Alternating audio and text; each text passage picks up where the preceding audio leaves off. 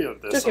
Welcome to the Miner Student Athlete Feature. Today we have Bertram Gjelfort for the men's soccer team joining us. And Bertram, how are things going right now with preparations? You know, for the season. You know, they'll be ahead of us soon.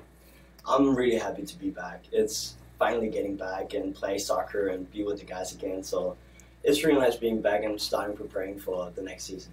Now, did you go home and the pandemic hit, or did you stay here in the states? Uh, I went home. Uh, obviously, there was different things I had to do. I wanted to be with my family and my friends back in Denmark, but it was nice, and I'm really happy to be back now. I Missed all these guys back here, so that's nice. I had to jump through a few more hoops to get back into the country, though, after all this Oh, was yeah. going on. Yeah, I had to stay for like a two week quarantine when I got back, and that's just how it is. Now, from what you've seen here in the early season, all you guys of limited stuff you can do right now and all that. Mm. You know, kind of how do you feel about the team right now, going in general, going into what will be the spring 21 season? I feel like we have a pretty good group. Like we have lots of talent. We're really striving to win that, uh, win the, the the league, and um, all of us uh, we we want to compete. We want to get out there and show what we can do because we know we can do a lot more than what we did last season. And obviously, you were really close last season. You were in the playoff contention at the end of the year, a couple tough setbacks late in the year. You know, us out of the playoffs. So certainly, we know we're not that far away. We just, you know, got to do some things to just jump over that hurdle to get to the playoffs. Yeah, like last season was really tough. We were so close so many times. We had some ties that should have been a win, and maybe some losses that should have been a tie. But we were so close, and next season we're gonna show that we're gonna what we can do. Now, when you did go home back to Denmark for you know the time before you came back here in the summer, Yeah. what did you do uh, to kind of keep in you know shape and all that you know during that time? I was I was working out uh, every day, and um, I had I got in contact with one of my old clubs that um, that I could practice with, and I'm really happy about that because then I could touch a ball and not just be by myself.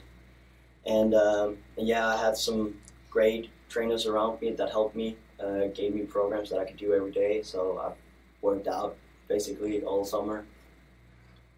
Now, let's stay on the international theme here for a second. Here in the U.S., a lot of the players you know play high school club ball before they get to you know play college soccer and all that. It's a little different structure in Europe. Kind of go over that with us a little bit, kind of how that works over in your part of the world you Yeah. from. So we don't play for school. We only play for clubs. And um, I got signed, uh, or I got I got into one of the biggest clubs in Denmark um, when I was 14, 14, 15, around that age.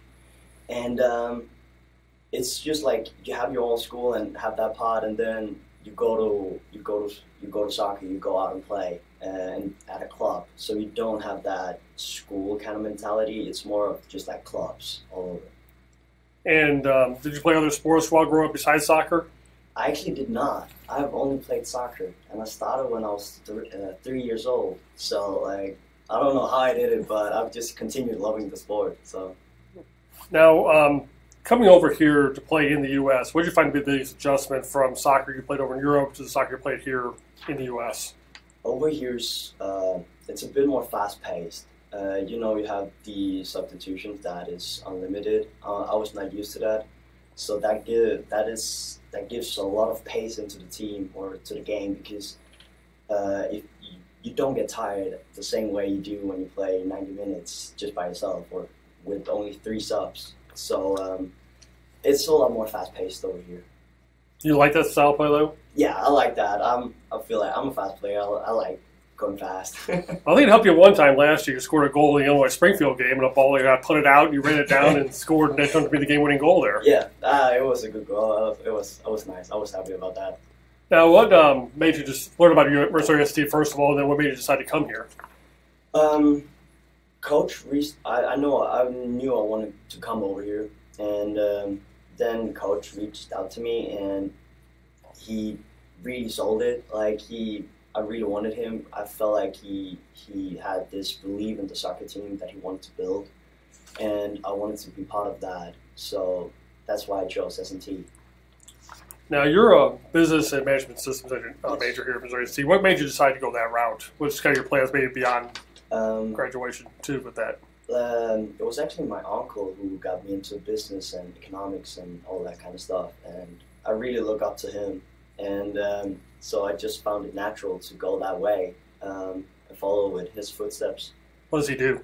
Uh, he- uh, it's kind of hard to explain, but he works at a company where he's like uh, kind of in insurance uh, for like banks and companies and that kind of stuff. So, um, and I was out there watching him work and saw how he did it and just kind of loved that kind of feel. And that's something you like to do when you get out, you know, get your degree and all that. You like to get into that field yourself yes, at yes. some point. Yeah, I wanna I wanna go that way. Maybe go into marketing. Uh, uh, I'm I'm not entirely sure yet, but I'm I'm gonna see what life gives me and feel like and then take the the best route. So. You have a little time. You're only a sophomore here, so you have a little time to figure that true. out too. That's true. Now you have a special talent. I've heard also that you, you have um, done some singing and all that, and you had a special individual you sang for at one time. Yes. So um, I have actually sung for the Queen of Denmark twice, um, and it was it was uh, at the school I I went to. Um, you had to be able to sing to get into that school, and then you were in a choir. And uh, not to brag or anything, but we are one of the best choirs in Europe. And um, and then I just had the opportunity to sing for the Queen of Denmark. So I was happy about that. It's kind of nice. it was a great thing to do there.